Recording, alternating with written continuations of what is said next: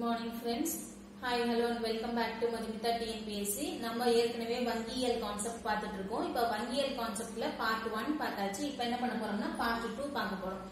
Part ஒன்ல மைய வங்கினா என்ன? எத்தனை மைய வங்கிகள் உருவாயிருந்தது? அதே மாதிரி இந்தியாவோட வங்கிகளோட வரலாறு பத்தி பார்த்தோம் சோ இன்னைக்கு நம்ம பார்க்க போறது பாத்தீங்க அப்படின்னா இந்தியாவின் மைய வங்கியான ஆர்பிஐ பத்தி பார்க்க போறோம். எந்த வருஷம் உருவாக்குனாங்க? ஆயிரத்தி தொள்ளாயிரத்தி முப்பத்தி நாலுல இந்தியாவோட மைய வங்கி உருவாக்குனாங்க. ஓகேங்களா? சோ இந்த மைய வங்கிக்கான சட்டம்னு எடுத்துக்கிட்டீங்க அப்படின்னா ஆயிரத்தி தொள்ளாயிரத்தி முப்பத்தி நாலு துவக்கம் வந்து ஆயிரத்தி தொள்ளாயிரத்தி முப்பத்தி அஞ்சு ஏப்ரல் ஒன்ல தான் துவங்க ஆரம்பிச்சது. ஓகேவா? சோ மூலதனம்னு பாத்தீங்கன்னா நூறு பங்குகளை கொண்டு கிரியேட் பண்ணப்பட்டது தான் ஆர்பிஐ இது வந்து ஜனவரி ஒன்னு ஆயிரத்தி தொள்ளாயிரத்தி நாற்பத்தி ஒன்பதுல நாட்டுடைமை ஆக்குறாங்க ஜனவரி ஒன்னு ஆயிரத்தி தொள்ளாயிரத்தி நாற்பத்தி ஒன்பதுல ஆர்பிஐ நாட்டுடைமை ஆக்கப்பட்டது ஓகேங்களா ஃபர்ஸ்ட் தலைமை அலுவலகம் வந்து கல்கத்தாவில் இருந்துச்சு. அதுக்கப்புறம் வந்து மும்பைக்கு இது மாற்றப்பட்டுச்சு. ஓகே சோ இதுல வந்து நம்ம முக்கியமா பார்க்க போறது என்னன்னா ஆர்பிஐயோட பணிகள் பத்தி தான் பார்க்க போறோம். சோ இவ்வளவு பணிகள் இருக்கு. மொத்தம் எத்தனை பாத்தீங்க அப்படின்னா பதினாறு இருக்கு. ஆர்பிஐயோட பணிகள் மொத்தம் பதினாறு. அதுல ஒவ்வொன்னா பார்க்கலாம். ஃபர்ஸ்ட் வந்து பண அதிகார அமைப்பு. பண அதிகார அமைப்பு அப்படின்னா ஒரு பணத்தை கொடுக்கறது கட்டுப்பாடு அதே மாதிரி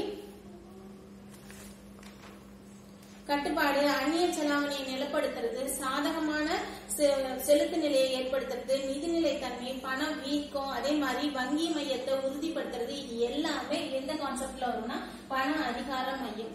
ஒரு பண அதிகார மையம்னா அந்த பணத்தை என்னென்னலாம் பண்ணலாம் எப்படி எல்லாம் பண்ணலாம்னு செய்யறது எல்லாமே வந்து ஆர்பிஐ தான் இந்தியாவை பொறுத்த வரைக்கும் ஓகேங்களா ரெண்டாவது காகித பண வெளியீடு. அதே மாதிரி வேற எந்த வங்கியும் காகித பணத்தை வெளியிட முடியாது. ஆர்பிஐ மட்டும்தான் காகித பணத்தை வெளியிட முடியும். அதே மாதிரி ஆர்பிஐ எதை வெளியிட முடியாது அப்படின்னு பாத்தீங்கன்னா எக்ஸப்ட் நாணயம் மற்றும் ஒரு ரூபாய் காகித பணத்தை ஆர்பிஐ வெளியிடாது. என்ன வெளியிடாது?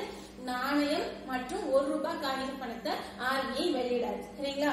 இதை தவிர மீதி இருக்க அனைத்து வகையான காகித பணத்தையும் ஆர்பிஐ வெளியிடும். அதே மாதிரி போலி பணம் கட்டுப்படுத்துற பொறுப்பும் யாருக்கு இருக்கு? ஆர்பிஐக்கு தான் இருக்கு. ஓகேங்களா? அடுத்து வங்கி உரிமங்களை வழங்குபவர்கள்.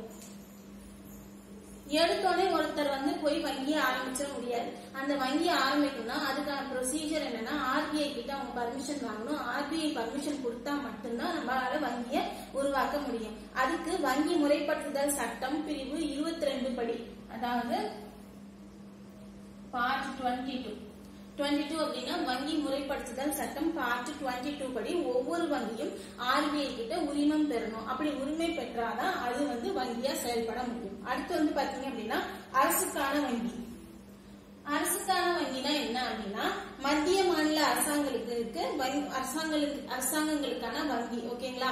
அரசுக்கே இது கடன் வழங்கும் அதே மாதிரி தன்னோட வருமானம் இருக்கு இல்லையா? அந்த வருமானத்துல கடன் வழங்கும். ஃபார் எக்ஸாம்பிள் ரெண்டாயிரத்தி பதினெட்டு டு பத்தொன்பதுல பாத்தீங்கன்னா ஆர்பிஐ வந்து அரசுக்கு அறுபத்தி எட்டாயிரம் ரூபாய் அறுபத்தி எட்டாயிரம் கிட்ட உங்களுக்கு அறுபத்தெட்டாயிரம் கோடி கொடுத்துருக்காங்க. ஓகேங்களா?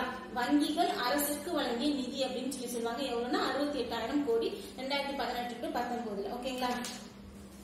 இது வந்து மத்திய மாநில அரசுகளுக்கான வங்கியா செயல்படுது. ஆர்பிஐயோட முதல் ஆளுநர் யாரு அப்படின்னு பாத்தீங்கன்னா ஓஸ் போர் ஸ்மித் அப்படிங்கிறவர். ஆர்வியோட முதல் ஆளுநர் யாரு?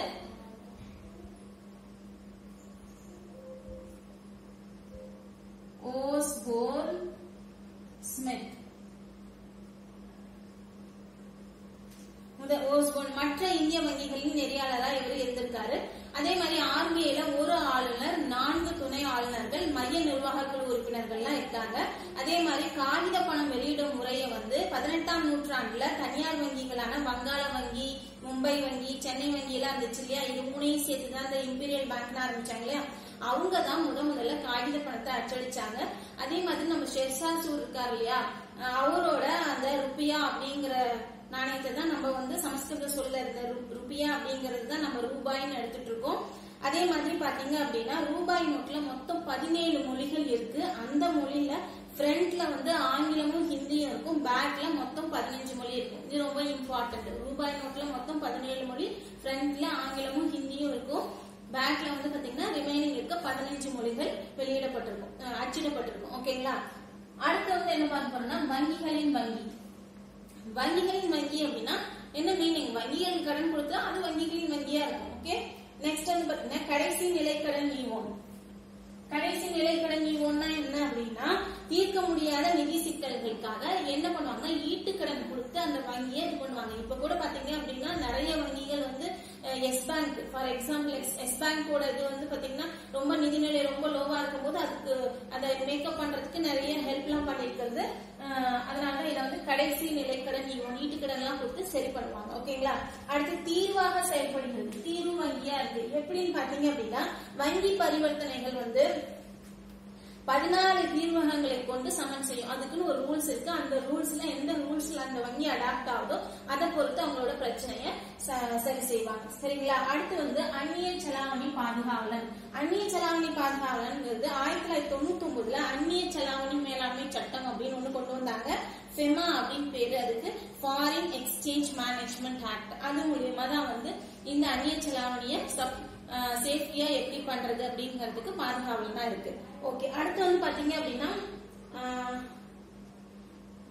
பொருளாதாரத்தை நெறிப்படுத்துதல் பொருளாதாரத்தை அதை போல. ஓகே அடுத்து வந்து பொருளாதாரத்தை நெறிப்படுத்துதல். அதாவது நம்மளோட வந்து இப்ப வந்து இப்பளோட இப்ப கொரோனா ஸ்டேட்டஸ்ல பாத்தீங்க அப்படின்னா இந்தியாவோட பொருளாதாரம் ரொம்ப டவுன் ஆயிட்டு இருக்கு. அப்ப அதை நெறிப்படுத்துற கடமையும் யாருக்கிட்ட தான் இருக்கு அப்படின்னு பாத்தீங்க அப்படின்னா ரிசர்வ் பேங்க் கிட்ட தான் இருக்கு. என்ன அப்படின்னு பாத்தீங்கன்னா பொருளாதாரத்தை நெறிப்படுத்துதல்.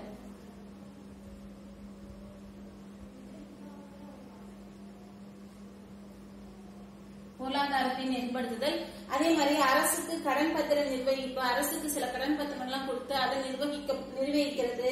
அதே மாதிரி பாத்தீங்க அப்படின்னா செலுத்துதல் தீர்வு நெறியாளர் நெறியாளர் மேலாளர் இது எல்லாமே வந்து ஆர்பிஐ. அதாவது ரெண்டாயிரத்தி ஏழுல வந்து திருத்துதல் செலுத்துதல் மற்றும் தீர்வு சட்டம் அப்படின்னு சொல்லிட்டு ஒண்ணு கொண்டு வந்தாங்க. அது மூலியமா இந்த விஷயத்த அவங்க ஃபாலோ பண்றாங்க. மேம்பாட்டு பணி அப்படின்னு எடுத்துக்கிட்டீங்க அப்படின்னா நிதி சேவை நிதி கல்வி விரிவாக்கும் பணி இதுக்கெல்லாம் வந்து என்ன மேம்பாடு செய்யலாம்? கல்விக்காக எவ்வளவு நிதி ஒதுக்கலாம் அப்படின்னு பாராளுமன்றத்துல பேசும்போது அதுக்கான சப்போர்ட்டிவ் இன்ஃபர்மேஷன் எவ்வளவு பணம் இருக்கு அப்படிங்கறத சொல்றதும் ஆர்பிஐ தான் இருக்கும். அதுக்கப்புறம் பாத்தீங்க அப்படின்னா பணவியல் மற்றும் இதர தகவல் வெளியீடு. ப- அதாவது பணவியல் மற்றும் மாத மாதம் இதோட ஆர்பிஐயோட ரேட் ரிவர்ஸ் ரேட் எல்லாம் போடுறாங்க இல்லையா அது இது மூலியம் தான் மாதம் மாதம் காலாண்டுக்கு ஆண்டுக்கு ஒரு முறை அப்படின்னு பாத்தீங்கன்னா ஒவ்வொரு டைமும் repo rate reverse repo rate எல்லாம் போட்டுட்டே இருப்பாங்க அதோட புள்ளி விவரத்தை கொடுத்துட்டே இருப்பாங்க அதுக்கப்புறம் பாத்தீங்கன்னா பரிவர்த்தனை மேலாண்மை மேலாளர் மற்றும் நெறியாளரா இருப்பாங்க அதாவது ஐஎம்எஃப் இருக்காங்க இல்லையா? சர்வதேச பண நிதியம். அதுல வந்து இந்தியா உறுப்பினர் மற்றும் பிரதிநிதியாக இருக்கு. அப்போ ஐஎம்எஃப் கூட ஆர்பிஐ வந்து ஏதாவது ஒரு மணி எக்ஸ்சேஞ்ச் வச்சுக்கும் போது அங்க பரிவர்த்தனை மேல பரிவர்த்தனை பரிவர்த்தனைனா மியூச்சுவல் மியூச்சுவலா பண்ணிக்கிற மாதிரி. மேலாளரா இந்த பிரதிநிதியாகவும் இவங்க ஆர்பிஐ செயல்படுவாங்க. அதே மாதிரி வங்கி குறை தீர்ப்பாய தீர்ப்பாய திட்டம் அப்படிங்கறது என்ன அப்படின்னா ஆயிரத்தி தொள்ளாயிரத்தி தொண்ணூத்தி அஞ்சுல வங்கி குறை தீர்ப்பாய திட்டம் சட்டம் வந்து அறிமுகப்படுத்தப்பட்டுச்சு. அதுல என்ன அப்படின்னா வங்கிகள் வந்து இந்த விதத்துல எங்களுக்கு பிரச்சனையா இருக்கு அப்படின்னு வங்கிகள் புகார் கொடுக்கலாம். இந்த கான்செப்டுக்கு அடுத்து வந்து பாத்தீங்கன்னா இந்திய வங்கியோட நெறிமுறை மற்றும் மதிப்பீட்டுகள் வாரியம் அப்படின்னா என்ன அப்படின்னா பிசிஎஸ்பிஏ அப்படிங்கிறது என்னன்னா banking codes and standard board of India அப்படின்னு பேரு. இந்த இதை வச்சுதான் வங்கியோட நெறிமுறை அண்ட் மதிப்பீடுகள் வாரியம் வந்து அதை ஒரு ரூல்ஸ் செட் பண்ணி ஃபாலோ பண்றாங்க. ஓகேங்களா சோ இது எல்லாமே வந்து ஆர்பிஐயோட பணிகள். ஜெனரலா பாத்தீங்க அப்படின்னா இந்த repo rate reverse repo rate இதெல்லாம் எப்படி கால்குலேட் பண்றது அது எப்படி அதை கொடுக்குறாங்க அப்படிங்கறத நம்ம நெக்ஸ்ட் வீடியோவில் பார்க்கலாம் சோ வீடியோவை ஸ்கிப் பண்ணாம கம்ப்ளீட்டா பாருங்க. இந்த சேனல் நீங்க புதுசாக இருந்தால் சப்ஸ்கிரைப் பண்ணிக்கிங்க. பிடிச்சிருந்தா லைக் பண்ணுங்க அண்ட் ஷேர் பண்ணுங்க. தேங்க்யூ